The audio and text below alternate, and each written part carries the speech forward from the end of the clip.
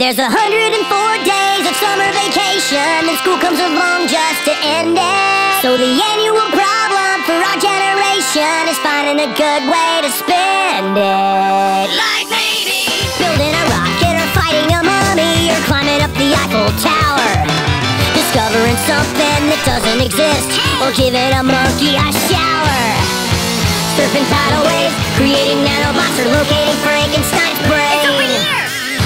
dodo bird, painting a continent, I'm driving her sister insane. As you can see, there's a whole lot of stuff to do before school starts this fall. Come on, Perry! So stick with us, cause Phineas and Ferb are